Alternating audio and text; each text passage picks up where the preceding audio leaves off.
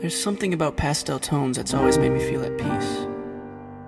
They aren't too vivid, nor are they too dull, but somewhere right in the middle. The progressive state of any given color.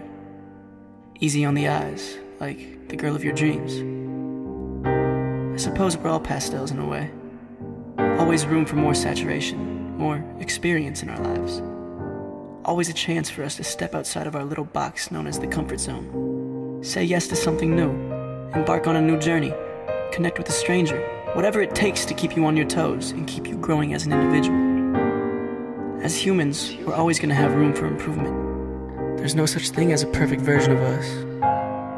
And I'm not here for perfection. I'm here for the memories.